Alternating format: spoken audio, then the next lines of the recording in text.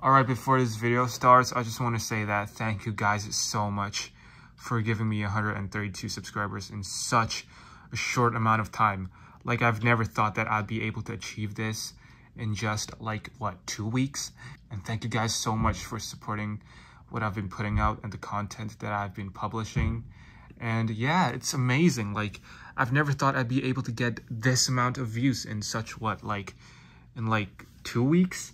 Yeah, it's insane. And just for information, I've read every single of your comments in my videos. Like, even if I have not liked your comment or whatever, I've read it. Like, I promise you, man. It's amazing. And yeah, thank you guys. It's incredible.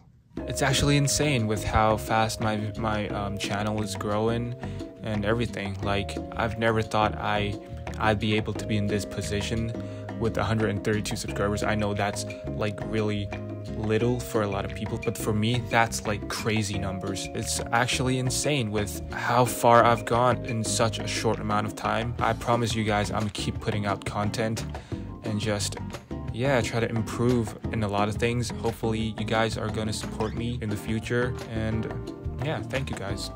Alright, so white shoes pretty much go with anything. How can we properly style a pair of white shoes?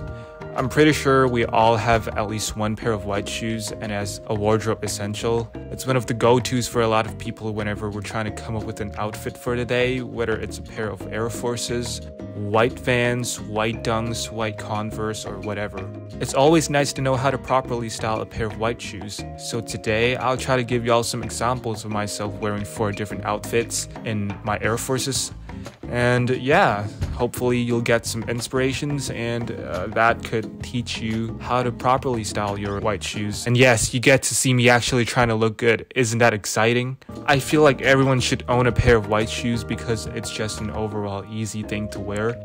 And we have to admit, sometimes we're just lazy and we still want to look good. Well, just throw on some white shoes and you'll be all set. On top of that, a pair of white shoes should be something that you'll find comfort in. And when I'm wearing my own pair of BS white Air Forces, it really makes me feel secure no matter what. I personally have a pair of uh, these white Air Forces. And to be honest, they're not actually that white anymore, but um, I'll still call them white, so deal with it. This is like the centerpiece for every white girl out there, so yeah. Yeah, I'm a white girl. These are pretty nice. They're a white Air Forces, so you can't really go wrong with these. And uh, it pretty much goes with anything. I like these. These are pretty easy to style. Okay, so the first fit that I want to talk about is the dark jeans and the white shoe combination. I feel like this is the selection that everyone out there is able to pull off. And this combo to me is like white car with black rims. It's like really simple, yet it just works great. Even though the dark jeans and white shoes are something that I seldomly wear, even though it's a simple outfit combo that everyone I think can pull off. So right here, I have a pair of Levi's jeans, another wardrobe essential that I have on. I'm wearing a black t-shirt, which I thrifted that says vote, because it's a really important message, y'all, please vote. With a Carhartt doubled layered jacket on top. I personally don't really like cuffing my pants when I'm wearing it, but it's up to you, you know? Just do whatever works for you. I prefer having the bottom of a pair of my pants to follow my shoes nicely because it's just my preference. Okay, so the second fit is called the comfort fit. It's basically a pair of loose pants with a pair of white shoes of your choice. Here I have a pair of dress pants that I got from thrifting, a little mink for jacket, and this is just a lazy fit overall that I put together that I thought would work. A comfort fit like this would always work in my opinion, and whenever we just want to wear something that we feel cozy in, just throw on something like this and you'll be all set bro, trust me. This is just a really really basic fit overall and yeah. The third fit I have is called the colorful fit.